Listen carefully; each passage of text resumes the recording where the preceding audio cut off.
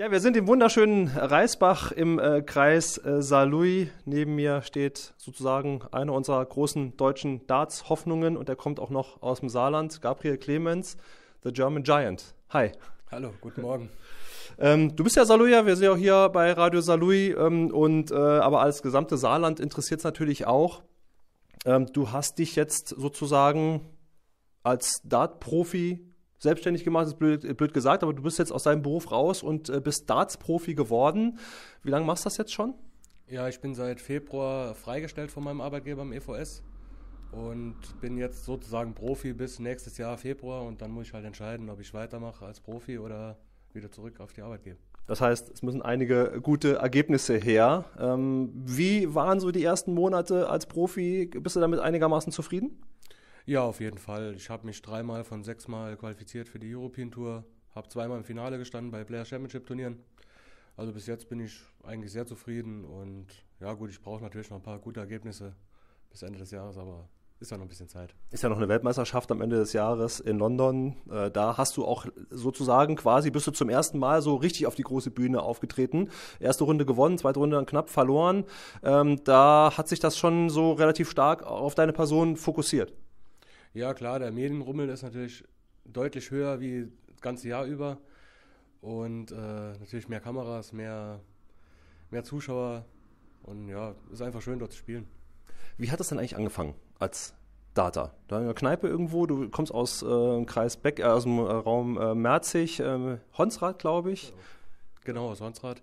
Ja, so wie bei fast jedem wahrscheinlich. Äh, mit Freunden in der Kneipe Dart gespielt und irgendwann ein bisschen höher, also gemerkt, dass man ein bisschen besser ist wie die anderen und äh, dann halt in einer Liga angefangen und dann so immer höher in den, Liga, in den Ligen gespielt und halt irgendwann deutschlandweit gespielt und irgendwann international.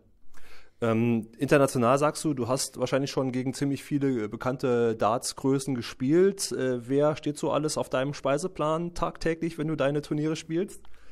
Ja, gespielt habe ich schon gegen Gary Anderson, Peter White, James Wade, Michael Smith. Ich glaube, Van Gerven fehlt mir noch. Na, der, der wäre ein schönes Finale dann irgendwie im Eddie Pelli in London. Ich hätte nichts dagegen. du, nee, aber äh, ernsthaft, du bist ja, bist ja noch relativ jung, also für, äh, zum Darts spielen. Man kann das relativ lang machen, sieht man ja an Phil Taylor, der jetzt auch erst aufgehört hat. Natürlich, Phil Taylor ist outstanding als Dart-Profi, aber äh, man kann noch einiges erreichen. Das heißt, du bist ganz gut im Zeitplan, wenn man denn den Weg hat oder den Plan hat, wirklich mal so in die Phalanx der ganz Großen einzubrechen. Ja, auf jeden Fall. Also es sind viele Spieler, die erst mit über 40 äh, wirklich in die Weltspitze gedrungen sind. Also da jetzt Gary Anderson, Peter White oder so ist, die waren schon deutlich über 40, also habe ich noch ein bisschen Zeit. Jetzt ähm, hast du ja sozusagen den ganzen Tag Zeit zu trainieren. Was trainiert denn oder was, wie, wie muss man sich das vorstellen? Stehst du den ganzen Tag da und wirfst dann wirklich mal dreifach 20, Doppel 1, out oder, wirklich, und, und, oder hast du einen gewissen Trainingsplan auch, den du da verfolgst? Sagst, heute muss ich das machen, morgen muss ich das machen? Man versucht es halt abwechslungsreich zu machen. Man trainiert äh, Triple 20, das, also das Scoring. Dann äh, versucht man die Doppel zu treffen. Dann versucht man Finishwege zu spielen. Da gibt es halt verschiedene Trainingsspiele, die man dann spielt, dass es nicht langweilig wird. So, jetzt ist ja hier Reisbach und wenn du da hier für dich trainierst, ist Ruhe. Jetzt stehst du aber auf der großen Bühne, zum Beispiel in Saarbrücken am Wochenende. Da wird ja auch die Saarlandhalle wieder voll sein äh, beim PDC-Turnier. So, und dann ist das Publikum unten. Da gibt es den emotionalen Walk-On. Dann sind alle Augen auf einen gerichtet. Ist das, ist doch schon eine andere Situation. Ja, auf jeden Fall ist es was anderes. Man versucht es halt auszublenden, natürlich funktioniert das nicht. Also man hört schon die Geräuschkulisse, aber das ist auch schön. Also macht einfach Spaß, da zu spielen. Jetzt bist du, glaube ich, Nummer 56 der Weltrangliste. Ähm, ist das deine beste Platzierung oder äh, warst du schon mal besser oder wo willst du, soll es noch hingehen? Also ich wüsste jetzt noch nicht, wo ich Nummer 56 bin. Ich habe ich hab zumindest gerade mal im Internet geguckt, aber durchaus äh, bei, bei PDC aber, oder bei Darts. Aber das müsste meine höchste Platzierung sein, das ist schon richtig. Aber ja, ist relativ egal. Ich muss am Ende des Jahres unter der ersten 64 sein. Und dann behalte ich meine Tourcard, dann kann ich nächstes Jahr wieder auf der Profitour mitspielen. Und das ist eigentlich das einzig Wichtige. Wirst du eigentlich so von der äh, PDC dann zu den äh, Turnieren eingeladen und die zahlen dir das Hotel und die Anfahrt und den Flug dorthin? Oder bist du sozusagen eine eigene Ich-AG, die das dann für sich selbst trägt? Schön wäre es, aber äh, nein, wir sind eine Ich-AG und äh, wir bezahlen Flug, Hotel, Transfers, Essen, Trinken, alles selbst. Dabei helfen dir auch einige Sponsoren, die du jetzt auch irgendwie hast und die wahrscheinlich auch immer wer, also zumindest mal, du rückst immer weiter in den Fokus mit jedem äh, Sieg, den du dort hast. Ähm, wenn du jetzt zum, nach London fährst, letztes Jahr zum Beispiel, äh, da bist du ja nach Hause geflogen sozusagen, währenddessen die anderen dort übernachtet haben äh, und bist dann wieder hingeflogen. Das ist aber jetzt dann in der Tat dann anders. Du kannst dich dann halt voll auf das Turnier konzentrieren, jetzt als Profi.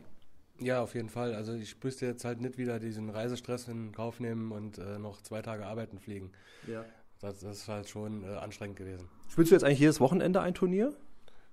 Meist, meistens ist jedes Wochenende ein Turnier, ja.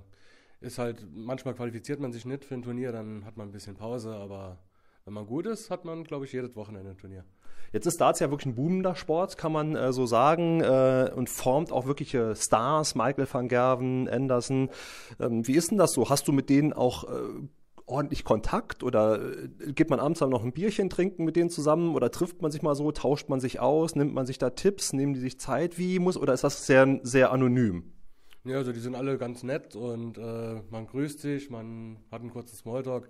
Natürlich hat man wie überall äh, immer die Gruppen, wir Deutsche, Österreicher sind halt so eine Gruppe, allein schon wegen der Sprache und äh, wir machen dann halt abends mehr zusammen als jetzt mit dem Van Gerven oder so. Also mit äh, Max Hopp, Martin Schindler, so die bekannten Deutschen.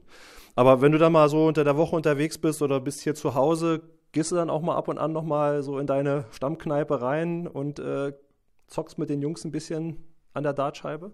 Ja, natürlich. Und äh, hier kommen auch öfters hier in meinen Trainingsraum mal Freunde und äh, spielen mit mir eine Runde und ja, auf jeden Fall. Prima. Also ich würde sagen, wir werfen gleich auch nochmal, das habe ich damals mit Martin Schindler schon mal gemacht, äh, als wir auf der großen Bühne in der Saarlandhalle gestanden haben, äh, drei Darts gegeneinander, mal gucken, äh, wer das Ganze so gewinnt. Und ich würde sagen, wir gehen dann einfach mal an die Dartscheibe und äh, da versuche ich mal mein Bestes. Das war schon mal. das ist jetzt schon mal der Erste, der in meinen Ring geworfen hat. Das macht mal. Siehst du?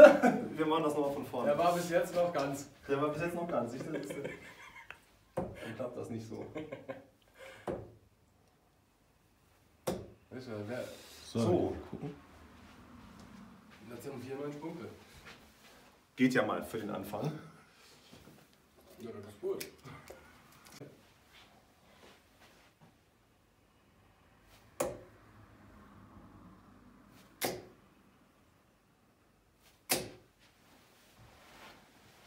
Also auch wenn es keine 180 war, man sieht aber schon, dass es äh, deutlich mehr Punkte sind äh, als bei mir. Ähm, wenn ich erstaunt bin, dass, es, dass der Unterschied nicht ganz so groß war, weil es hat wahrscheinlich nicht gereicht, äh, um so ein Turnier zu spielen. Gabriel, ich wünsche dir ganz viel Erfolg bei deinem Turnier in äh, Saarbrücken äh, und bei allen anderen Turnieren. Wir werden das weiter verfolgen und äh, freuen uns, wenn du deinen Weg gehst.